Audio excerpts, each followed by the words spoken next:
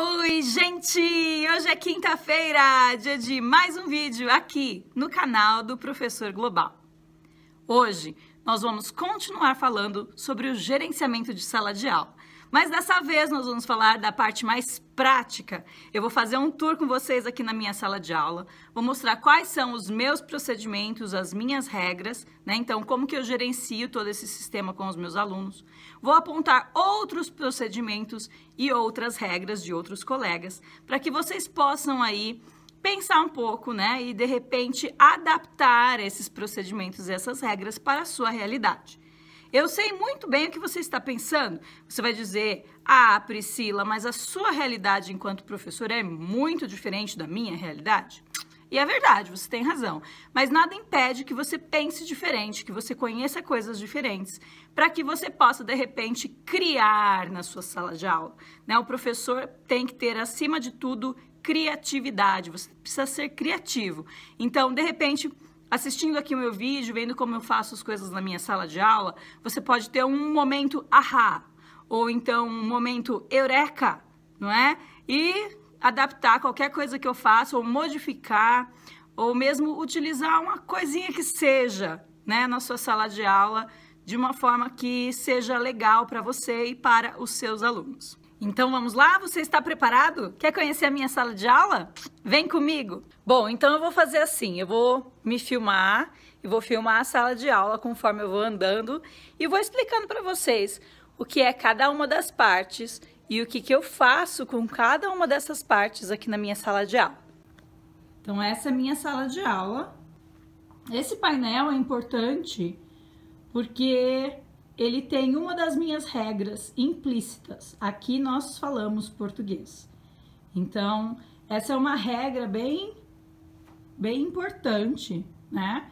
Principalmente na primeira série depois do Natal, em que os alunos só podem falar português com a professora. Aí, então, as carteiras, né? A lousa, o computador, não é? Já vou falar mais do que, que tem na, na lousa ali, que tem bastante coisa importante. Vocês estão vendo que eu tenho um tapete bem colorido no meio da sala. Eu tenho almofadas coloridas que num próximo vídeo eu posso explicar. É uma técnica que eu uso para fazer eles é, aprenderem algumas coisas, né? Com sinergia e, enfim. Um outro vídeo eu posso explicar.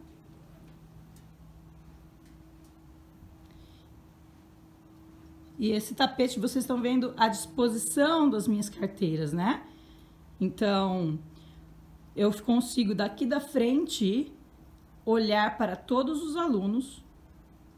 Eles estão sentados em duplas ou em trios, como é o caso daquela carteira ali, ó. São três, né? São três carteiras, é um trio. Então, eu nunca deixo os alunos sozinhos, porque eles trabalham muito em duplas. E eu tenho essas carteiras aqui na frente, porque são os alunos que eu mais preciso dar atenção, né? São esses alunos, os quatro primeiros aqui, que ficam bem à frente. Então, essa disposição de sala de aula me ajuda muito no trabalho da língua. Como eu trabalho com língua portuguesa, né? É, como língua estrangeira, os alunos precisam interagir o tempo todo comigo e entre eles também. Então, o fato das carteiras estarem nessa posição e eu ter esse tapete no meio me ajuda muito no momento de instrução. Agora vamos falar um pouquinho sobre procedimentos, né? Então, o que, que os meus alunos fazem quando eles chegam na sala de aula? Estão vendo que aqui é a porta de entrada da sala e logo na entrada nós temos o almoço. Então, esses palitinhos aqui, ó, que vocês estão vendo, eles têm o nome dos alunos e eu tenho aqui almoço da escola ou da lancheira.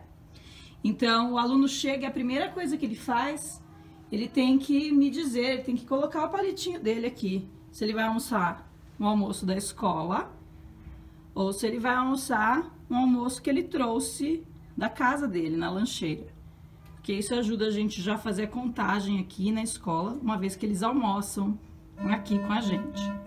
Então, depois que eles penduraram os casacos e as mochilas, eles vêm para essa parte aqui da, da sala, que é onde ficam os potes deles. Vocês podem ver que eu tenho duas turmas, uma turma amarela e uma turma verde, não é? Uma antes do almoço e uma depois do almoço. Então, quando o aluno chega, depois de pendurar a mochila, ele vem pegar o material dele, ele pega o pote dele, que tem todos os livros, enfim, tudo aquilo que a gente vai usar durante o dia, e já leva para a carteira dele. Na carteira, que seria o próximo passo, ele tem que ter um lápis apontado e uma caneta. Tá vendo?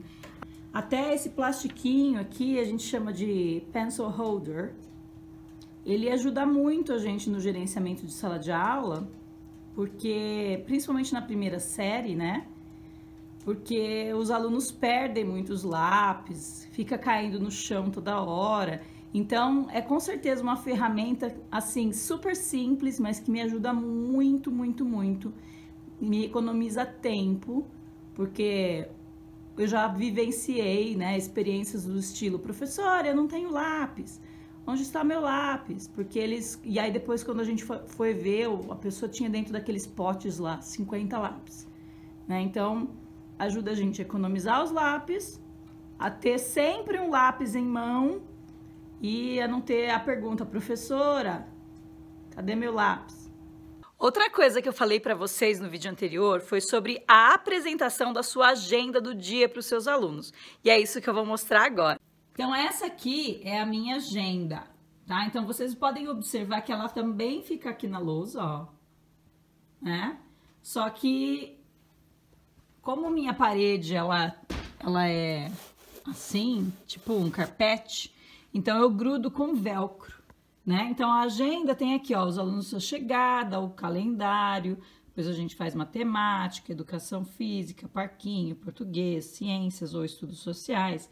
Depois a gente tem que limpar ou ir para casa. Isso é o pessoal da tarde, né? A agenda do pessoal da tarde. Então, mas eu tenho outras coisas, por exemplo, que eu posso ir trocando, tá vendo? O almoço, a música, festa, biblioteca oficina de escritores, centros, teste, enfim, dependendo do que vai acontecer na minha sala, então eu troco e eles vão falando para mim. Então eu pergunto, ok, então hoje nós vamos fazer o quê? Primeiro calendário, depois do calendário vem o quê? E aí eles mesmos falam, ah, a gente vai fazer matemática, ah, e depois da matemática, onde a gente vai? Ah, nós vamos para educação física, enfim a gente vai passando de, no, no começo da aula, né? Cada uma das coisinhas que vão acontecer durante o dia. Então, é essa a minha agenda. Então, como vocês podem ver, esses são os meus objetivos. Eles ficam na lousa, expostos. Eu modifico a cada dia, eu posso apagar e escrever de novo, né? Ou escrever o que eu preciso. Os meus verbos, no caso, são bem simples, porque eu ainda trabalho com a primeira série, que eles estão aprendendo português. Mas o importante é vocês perceberem que esses objetivos, eles não são só falados para os alunos. Eles são expostos e eles são trabalhados. Então, o professor fala e os alunos também reproduzem quais, quais são os objetivos ou qual é o objetivo com os colegas, para que eles fiquem, para que eles tenham certeza do que, que nós vamos fazer naquela sala de aula naquele dia. Agora que você já viu algumas coisas da minha sala de aula, eu vou mostrar para você quais são as minhas regras de sala de aula. Vamos lá? Então, essas são as regras da minha sala de aula. Elas ficam expostas bem aqui na frente, onde todos os alunos podem ver. E a gente trabalha bastante essas regras no início do ano. Então, durante um mês, um mês e meio, a gente faz com que eles memorizem essas regras, de tanto que a gente trabalha e, na verdade, treina mesmo esses alunos a seguirem as regras. Então, veja, essas regras não fui eu que, que criei, né? Elas já vieram do próprio distrito onde eu trabalho, mas eu poderia ter criado as minhas próprias cinco regras se eu quisesse. É que eu achei essas bem interessantes e simples, principalmente para usar com a primeira série, então eu as mantive. Né? Então, primeira lá, siga instruções de primeira, Levante a mão se quiser falar, use palavras gentis, mantenha suas mãos e seus pés para você mesmo, respeite a todos. E nós temos uma outra regra, como a gente já falou antes, que é uma das principais regras da nossa sala de aula, que é o falar português, né? Então, na nossa sala de aula, a gente não pode falar inglês. Agora, os alunos que não seguem as minhas regras, eu trabalho com esses botões, tá? Então, vocês estão vendo que cada aluno, eles têm três botões. E eu tenho a turma da manhã, deste lado aqui, e a turma da tarde, deste outro lado aqui. E cada aluno ganha três botões, começa a semana com três botões, e eles precisam manter esses três botões até a sexta-feira. E se isso acontece, né? Se eles conseguem manter os três botões até sexta-feira, eles ganham um prêmio. Geralmente eu dou um doce, né? Um pirulito, alguma coisa assim. Mas existem outras formas que eu quero mostrar para vocês de motivar esses alunos a manter os três botões. Se você não gostar de trabalhar com essas, essa ideia dos botões, justamente pelo fato de você expor o nome dos alunos ali, né? Então, isso no Brasil às vezes acaba sendo um pouco problemático, né? Você tem até que olhar aí ver se você pode fazer isso. Aqui a gente não tem problema, mas de repente no Brasil isso pode ser complicado. Você pode até fazer, mas tem que ser sem expor, né? Sem colocar assim como está nesse quadro, enfim, com os nomes dos alunos expostos. Isso pode ser um problema. Mas o que a minha partner, né, a pessoa que trabalha comigo na, na, na parte do inglês faz, ela trabalha com estrelas. Então, cada aluno dá uma, ela dá uma estrela para cada coisa legal, cada regra que o aluno seguir, ou o aluno tem que pagar uma estrela para ela quando ele não segue aquela determinada regra.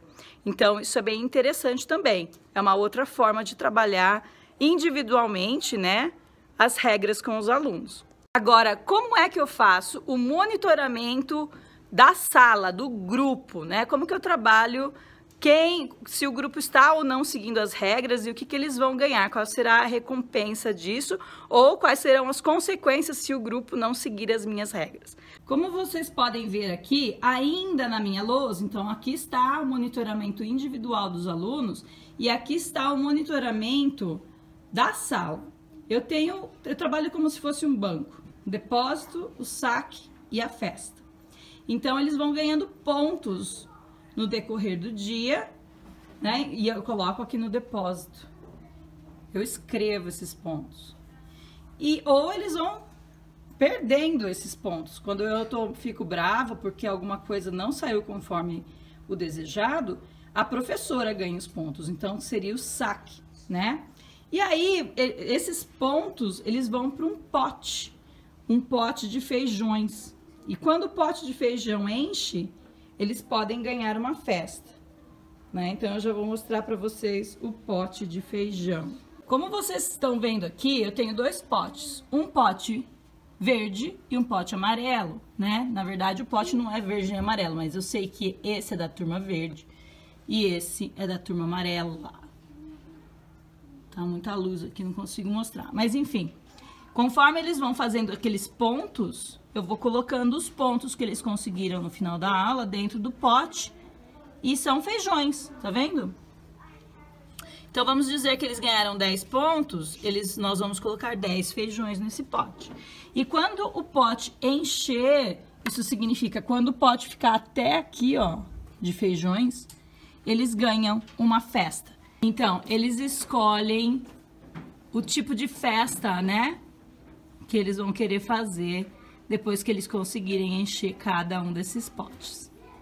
Outra ideia para você monitorar os seus alunos de forma coletiva é o uso de apps. Então, hoje em dia, nós temos muita tecnologia disponível. O professor usa o celular dele mesmo, cadastra os alunos e motiva, de forma geral, a, sala a se comportar bem.